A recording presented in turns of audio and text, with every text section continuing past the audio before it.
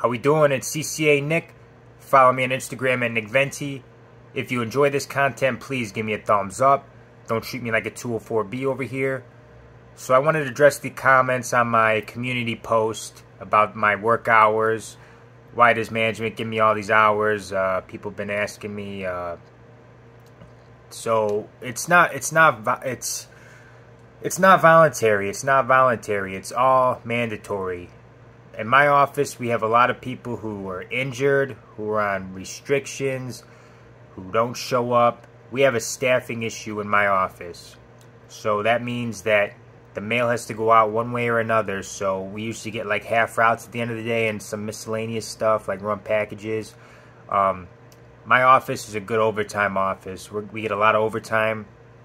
I hit over 70 hours this week. I'll probably post my time card on my on the community post. Um, I hit over 70 this week, but I didn't have a day off. Uh, they gave me Tuesday off next week, so I at least have a day off next week. But this week I didn't have a day off. Um, my check's gonna look real nice, but like they say, uh, I was talking to carriers earlier. The more you make, the more they take, and a lot of taxes they take out. Um, but yeah, even our regulars are being mandated right now. Uh, you know, they're they're not happy about it, but we we don't got the help. If if you're in an office that doesn't have help, you're going to be working all these hours. It's not voluntary. It's all mandatory. So uh, you got to learn to like the money and the hours. So, uh, but some of you guys, if if it was up to management, if they were able to uh, cover everything, 100% they would want me uh, at eight hours. We had a service talk with the CCAs and PTFs.